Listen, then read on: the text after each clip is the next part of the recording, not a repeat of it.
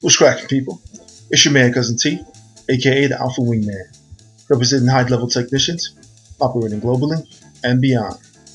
So, listen, today I wanted to offer the third dimension and what I have observed in um, many coaches, uh, mentors, and teachers within this space have collectively sort of identified as are valuable dimensions of a woman or desirable uh, women to men who have uh, bettered themselves or on their track of uh, mas- masculine mastery.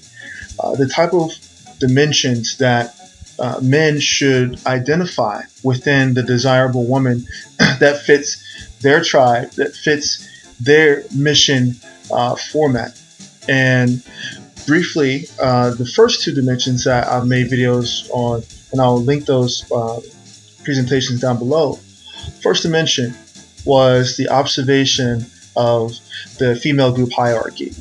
And that basically is how uh, I've observed how women fall into various positions within their group. The second dimension is how they present uh, socially, individually, and within certain social circles. And in this space, the select manosphere, and gradually expanding out into the greater manosphere at large, uh, we refer to BGS's octane model or the octane scale for the not only just social expressions of where a woman is, but her socioeconomic parallel and how that expression mirrors what her um, aptitude is, what her attitude is, the way that she wishes to present to society at large.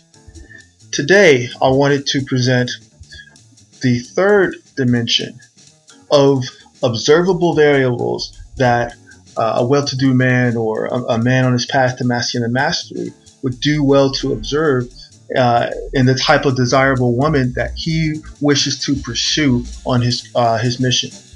And that dimension is the SMV. Now, a lot of people are familiar with the, the sexual marketplace value. Some people refer to it as the sex, sexual market value. I'm going to use a definition that, of course, uh, I placed in my book, The Seduction Scriptures. And so, those who have your copy of the Seduction Scriptures, you can turn to page 167, which is part of the glossary. Once again, this is an expansive glossary of more than 300 terms that are covered in the book, The Seduction Scriptures. Now, for those who are waiting on their copy uh, of the Seduction Scriptures, because I know you ordered it, right?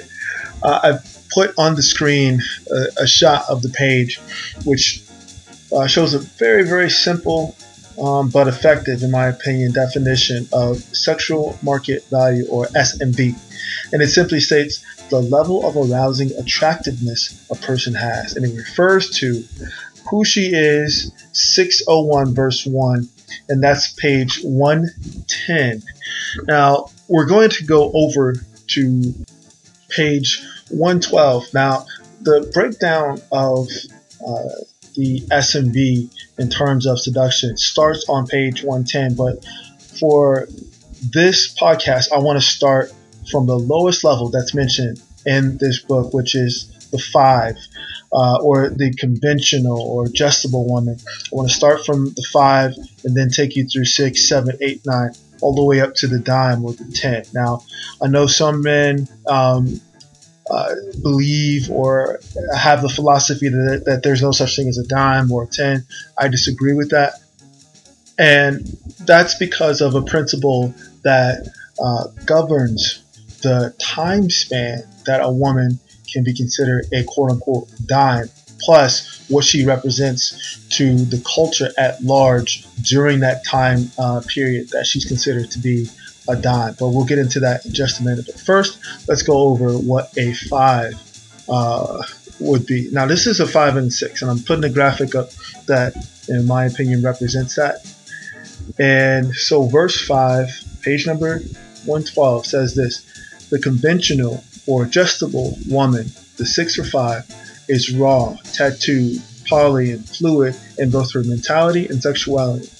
As with any of the women mentioned here, there is much that a self aware man can learn from interacting with this type as a conscious agent of his activity or technician. She, like the others, craves the attention and leadership of a masculine master. However, her creative energy and intuitive spirit often positions her as a social outlier who can operate in the matrix of the greater society.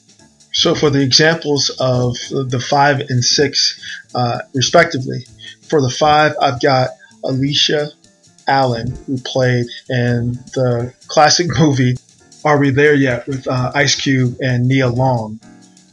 And for the six, I've got the conventional beauty Lupita Nyong'o. Now, moving on to the classic woman. On page 111, this is going to cover the sevens and eights of the female SMV according to the seduction scriptures. Here it says, the classic woman is perhaps the most practical of all women, in that her willingness to be upfront and honest about her needs, desires, and abilities are only eclipsed by her dedication to upholding a standard of timeless feminine beauty, grace, charm, and wit that has a diverse range of men the world over beating down her door with marriage proposals. This type of woman will inevitably maintain a roster of various men who serve specific functions in her world. Gentlemen, an entire video series can be done on this particular woman. The classic, uh, ranging from 7 to 8, represents the sweet spot, sort of the, the sexual market value sweet spot for women who are desired, who are approached, who are actively pursued by the widest variety of men for uh, relationship companionship, uh, marriage, you know, the mothers of children, uh, and so on and so forth. There can be a thousand podcasts uh, that go into the nuances of why uh, this particular level of the sexual market value is so diverse and is so um, desired by the greatest uh, range of men. But for sake of time, I'm going to just go into the examples. Keep in mind, these are examples of first the seven on the SMV according to the uh, seduction scriptures, and that's Alicia Keys, and the eight, none other than Queen Bey, Mrs. Beyonce Carter. Now, I know a lot of people uh, have their own qualifications and ratings, but we're talking about just overall the aesthetics, uh, the beauty, the symmetry, all of that um, presents her at the top of the classic beauty column, just at the cusp of what comes next. And what comes next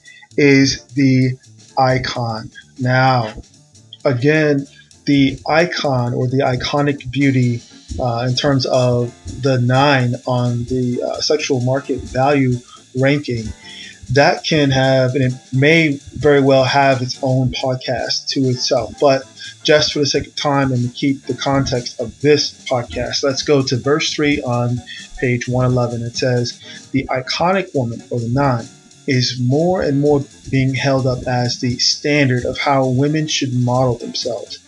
In a previous chapter, I pointed out how back in the day, even most Stepford of Stepford wives got down with the milkman, postman, door-to-door salesman, pastor, and any guy who met her criteria for sexually arousing masculinity. This doesn't mean that she didn't faithfully perform the prescribed wifely duties of cooking, cleaning, child rearing, and servicing her husband when convenient. Gentlemen, let's be clear. To even approach the psychology of a nine or an iconic woman, I mean, that requires a deeper dive into what it, what uh, a self-aware woman um, at that status or that of that caliber needs to feel whole. And a lot of women who are who rank that high they are in constant need of validation. They are in constant need of reassurance of their position.